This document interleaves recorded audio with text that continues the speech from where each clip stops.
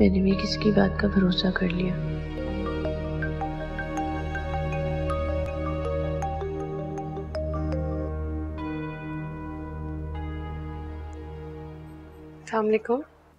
Hello आप? I am so sorry मैंने आपको इस वक्त जहमत दी। वो एक्चुअली आप ही का फ़ोन बन जा रहा है। क्या मेरी बात करवा सकती हैं? मुझे हारिस को बताना चाहिए या नहीं कि राफिया बेटी चली गई है यहाँ से? मेरा ख्याल है नहीं वो परेशान हो जाएँगे।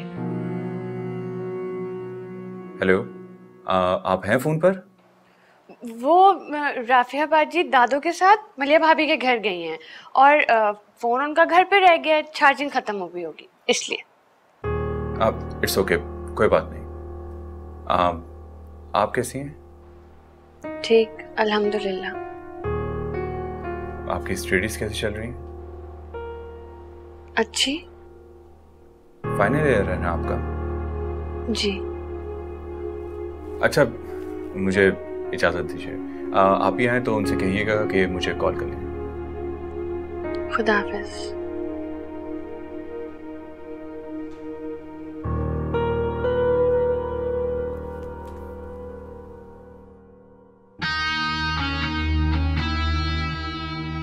ये क्या तरीका है?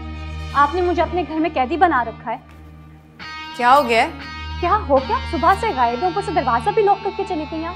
तो तुम सो रही थी मैं क्या करती? आपने सो रही थी मैं मर नहीं गई थी। दूसरी चाबी दे जाती मुझे। पता नहीं गुस्सा किस बात का आ रहा है तुम्हें। दूसरी चाबी दे भी जाती तो कौन सा तुमने कहीं बाहर जाना था या किसी के लिए दरवाज़ा खोलना था? क्या मतलब मुझे कहीं बाहर जाना था? मुझे कुछ भी काम हो सकता है।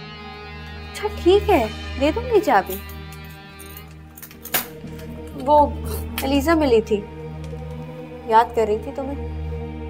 वो आपको कहाँ मिली मेरी गाड़ी खराब हो गई थी उसकी गाड़ी सामने से आते हुए देखी। उसने लिफ्ट दे दी मुझे। कह रही थी तुम्हारा फ़ोन ऑफ़ था?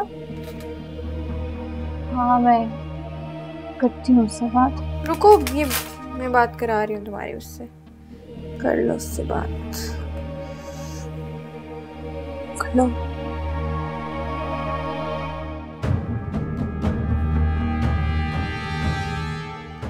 हाँ अलीज़े कैसी हो तुम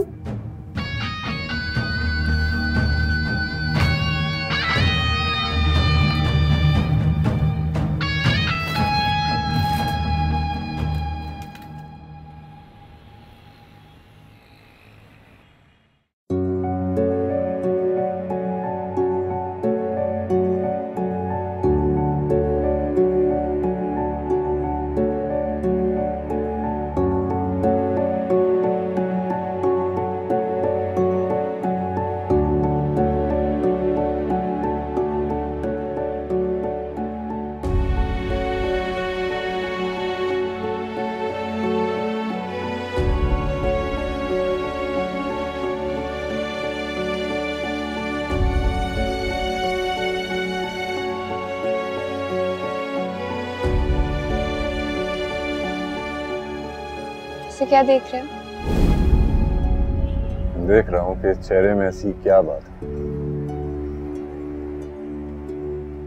नज़रें हटाने को जी नहीं चाहती। अच्छा। हाँ तुम बहुत हसी मैंने आज तक इतनी खूबसूरत लड़की नहीं देखी। आज तक नहीं। कल तक। आज देख ली ना। अच्छा अपनी आँखें बंद करो। क्यों? करो ना बस एक मिनट। प्लीज़ ओके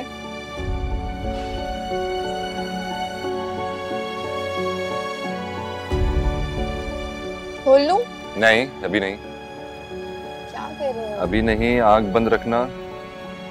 तो सरप्राइज़ एक मिनट। थोड़ी सी खोल लूँ। नहीं नहीं नहीं अपना हाथ लाओ। खोल लूँ आ, हाँ।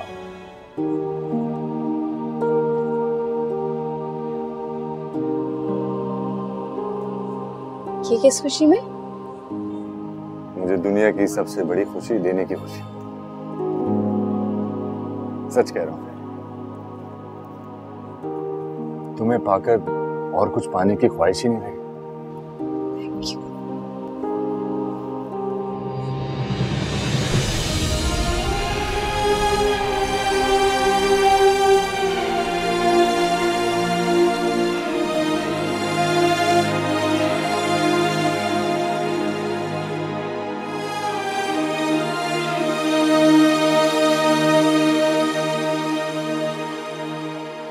वो तो एक एक चीज़ ढूंढ के ले गए। ये ब्रेसलेट कैसे रह गया? शायद गिर गया। उसे पता ना चला। लालची, बेवफा।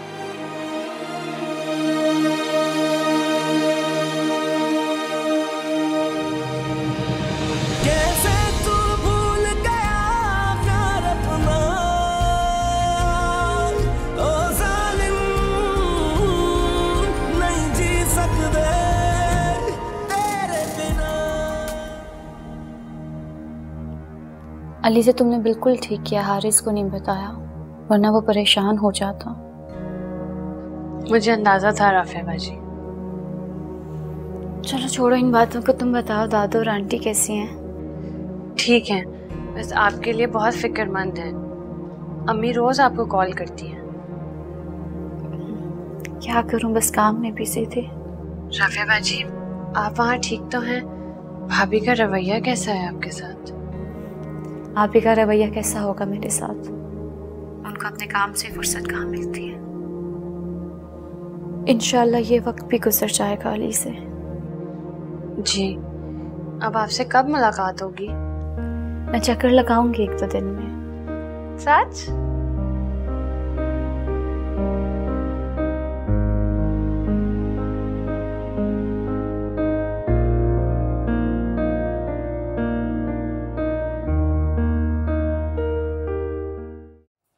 मलिया मेरा ख्याल अब तुम्हें घर वापस जाना चाहिए।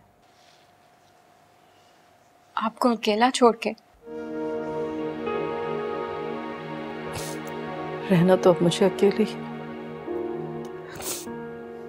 यही ज़िंदगी का सच है। पर मुझे आपकी फ़िक्र रहेगी। नहीं मेरा बेटा तुम्हें मेरी फ़िक्र करने की ज़रूरत नहीं है। यहाँ पे सारे मुलाजिम हैं साजदा है बिल्किस है कमाल है बिल्कुल मेरे बच्चों की तरह ही मेरा ख्याल रखता है। वो सब तो मुलाजिम है ना मम्मी। तुम्हारे डैडी तो अब वापस नहीं आ सकते ना। अब तो मुझे इसी तरह रहना पड़ेगा हमेशा।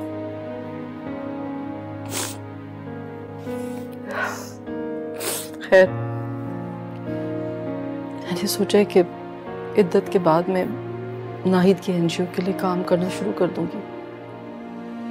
इस तरह से मेरा वक्त अच्छा गुजर जाएगा ये ये तो बहुत अच्छी बात है। तुम्हारे डैडी की ज़िंदगी में मैंने ये सोचा था। और उन्होंने मुझे इस एनजीओ के लिए 20 लाख रुपए का चेक भी साइन करके दिया था तो अच्छी बात है ना, मम्मी। इस तरह से तो पापा को सदका जारिया भी जाता रहेगा।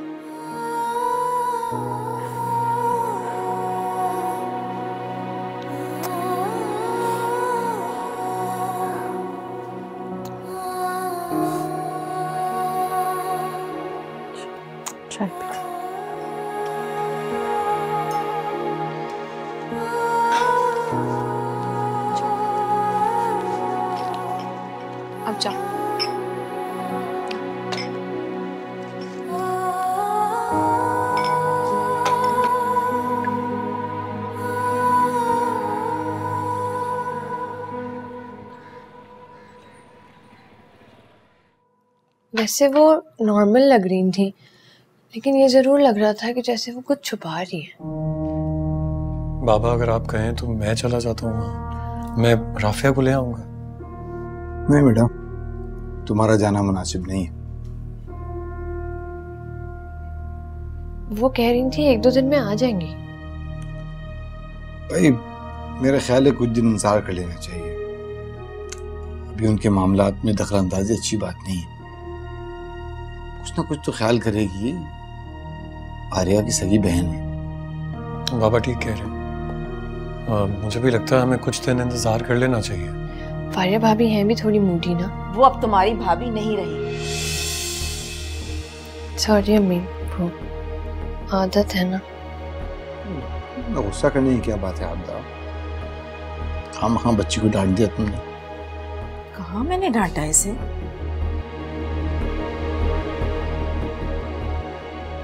अच्छा हुआ कि मैंने ये नहीं बताया कि मैंने उन्हें लिफ्ट दी थी। शाबाज तुम मलिया के पास गए थे? अ, नहीं जी आज जाऊँगा। मैं सोच रही हूँ कि मैं भी चक्कर लगा लूँ। ठीक। मैं भी जाऊँगी भाभी से मिलने। मैं दफ्तर से आ जाऊँ तो साथ ही चलेंगे। जी बाबा।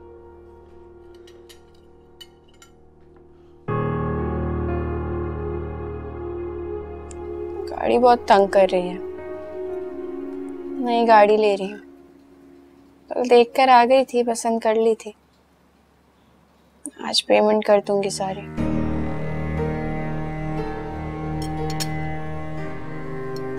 तुम्हें बताने का मकसद ये है कि तुम वो गाड़ी यूज़ कर सकती हो। अब ऑफ़िस इसकी ज़रूरत नहीं है, मैं कैब में चली जाऊँगी जब घर में गाड़ी मौजूद है तो फिर धक्के खाने की क्या ज़रूरत है? ड्राइवर भी रख दूँगी।